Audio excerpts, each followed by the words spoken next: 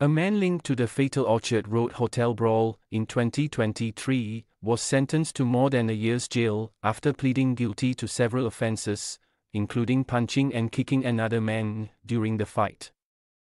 On June 25, Shavin J. Nair, 25, pleaded guilty to one charge of voluntarily causing hurt to Mr. Muhammad Israt Muhammad Ismail, who died following the brawl at Concorde Hotel shopping mall. Shavin also admitted to one charge each of voluntarily causing grievous hurt and voluntarily causing hurt in separate incidents in 2022, and one charge of possessing a stun gun when he was not authorized to do so. He was sentenced to 12 months and 8 weeks jail and fined $2,000 for his offenses. Mr. Israt suffered multiple injuries during the brawl in the Orchard Road area and was unconscious when taken to hospital, where he died. To date, more than 10 men have been charged over their alleged involvement in the brawl. Among them is Asvain Pekhon Pillai Sukumaran, 29, who is facing a murder charge for allegedly killing Mr. Isrit. Shavin is the first to be convicted and sentenced in relation to this case. Deputy Public Prosecutor Kathy Chu said that on August 20, 2023, Shavin went to Club Rumors at Concorde Hotel shopping mall with a group of friends. The prosecutor said the group belonged to a secret society called Ang Soon Tong Jalan Kayu Depot. During this time, Mr. Israt and his friend Muhammad Sharunizam Osman arrived at the same club. They were from a secret society called 369 Kallang Airport, which is a rival to the secret society that Shavin was in. Sharunizam, 31, faces four charges, including voluntarily causing hurt with a dangerous weapon.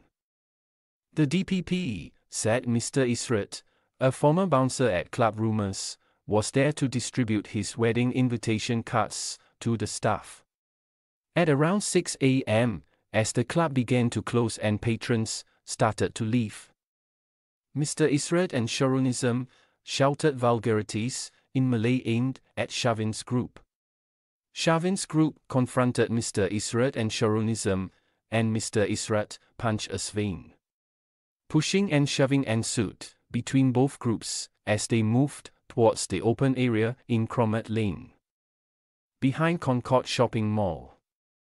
Shavin then punched and kicked Mr. Israt, causing him to fall. Sharunizam took out a bread knife he had tucked into his pants and slashed Shavin's arm with it. He also slashed others in Shavin's group. Mr. Israt and Sharunizam then ran back into Concorde Shopping Mall as members of Shavin's group chased them while Sharunizam went back into club rumors. Several members of Shavin's group attacked Mr. Israt, culminating in Asvain stabbing him multiple times, said the DPP. The DPP said Shavin did not follow his group back into Concorde shopping mall as his arm was bleeding. He went to Tan Tock Seng Hospital and lied that he had been injured in a fall. He was subsequently arrested there. In her submissions, DPP Chu said that while Shavin did not take part in the attack in Concorde Shopping Mall during which Mr. Israt was stabbed, the bruises on the victim's forearms, neck, and head can be attributed to the actions of Shavin and co-accused. For his offences, she sought a sentence of 12 to 15 months and 9 to 11 weeks jail and a $2,000 to $3,000 fine. In mitigation, defense lawyer Ramesh Tiwary urged the judge to note that the vulgarities used by Mr. Israt were racially charged and highly derogatory.